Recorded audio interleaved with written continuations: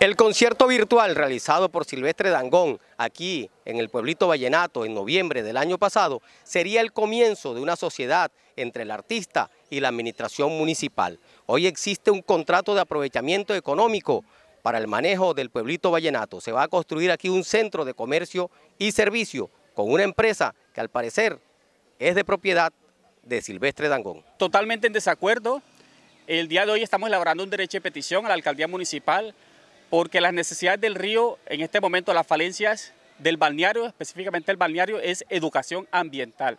Y este espacio está concertado y debe ser concertado para la educación ambiental. Lo han convocado al gremio de, las fundaciones ambientales, eh, hemos sido ignoradas y no tenemos conocimiento ninguno en qué es lo que pretenden hacer en estas instalaciones. No hay que olvidar que el balneario Hurtado tiene una alta capacidad de carga.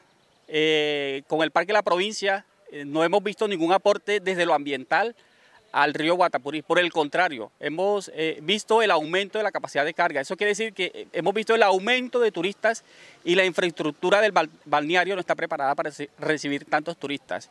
Necesitamos un espacio los ambientalistas para hacer educación ambiental, para poner orden en este balneario. Nueva Clínica de Santo Tomás brindamos la prestación de servicios de salud con los estándares más altos en calidad y eficiencia. Aquí nos dedicamos a cuidar cada detalle por el bienestar y tranquilidad de nuestros pacientes y sus familias.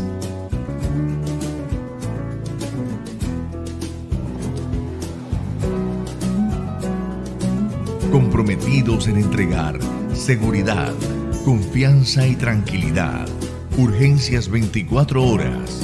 Contamos con unidades de cuidados intensivos, salas de cirugía, salas de parto, hospitalización, consulta externa. Carrera 10, número 13C109, Valledupar, Cesar. 316-808-7016.